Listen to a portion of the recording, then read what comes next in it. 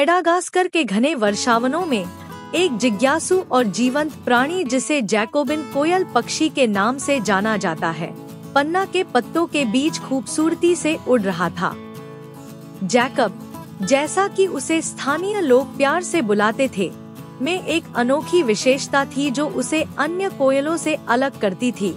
उसकी गर्दन के चारों ओर एक शानदार रफ जैसा दिखने वाला पंखों का एक जटिल समूह।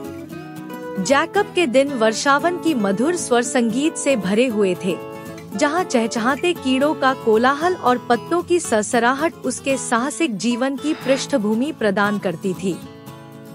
उनकी आकर्षक उपस्थिति ने उन्हें पक्षी समुदाय के प्रति ईर्ष्या का विषय बना दिया लेकिन इससे चुनौतियाँ भी आईं, खासकर प्रजनन के मौसम के दौरान। अन्य कोयलों के विपरीत जो अपने अंडे अनजान मेजबान पक्षियों के घोंसलों में रखती थी। जैकब को एक दुविधा का सामना करना पड़ा। उसकी तेज तर्रार रफ ने मोहित करते हुए उसे संभावित पालक माता पिता के लिए आसानी से पहचानने योग्य बना दिया। निडर होकर जैकब ने अपनी विशिष्टता को स्वीकार किया और अपनी दुविधा को एक अवसर में बदलने का फैसला किया। एक दिन जब लयबद्ध ताल के साथ बारिश हो रही थी जैकब ने जीवंत मखमली एसिटी पक्षियों के एक जोड़े को अपने घोंसले की देखभाल करते हुए देखा। उनके जीवंत पंखों और मधुर पुकारों ने जैकब का ध्यान खींचा जिससे एक विचार उत्पन्न हुआ। चुपचाप और चतुराई के साथ वह वेलवेट एसिटी घोंसले के पास पहुँचा, अपने अंडे देने के लिए नहीं बल्कि मदद का हाथ बढ़ाने के लिए या बल्कि पंख देने के लिए। जैसे ही वेलवेट एसिटी के माता पिता क्षण भर के लिए घोंसला छोड़कर चले गए, जैकब ने मौके का फ़ायदा उठाया। सावधानी पूर्वक देखभाल के साथ, उसने गिरी हुई टहनिया, जीवंत फूल और काई के टुकड़े एकत्र किए। प्रत्येक नाजुक जोड़ के साथ, उसने घोंसले को एक उत्कृष्ट कृति में बदल दिया। जो जल्द ही अंडों से निकलने वाले वेलवेट एसिटी चूजों के लिए एक आरामदायक आश्रय स्थल था। वेलवेट एसिटी के माता पिता अपने घर में अचानक हुए सुधार से हतप्रभ होकर वापस लौट आए। जब वे घोंसले का निरीक्षण कर रहे थे तो पत्तों के बीच छिपे जैकब ने उनकी खुशी देखी। उनकी योजना काम कर गई थी। उन्होंने अपनी पहचान से समझौता किए बिना उनका विश्वास अर्जित कर लिया था। जैसे जैसे समय बीतता गया, मखमली असिटी चूजे अंडे देने लगे।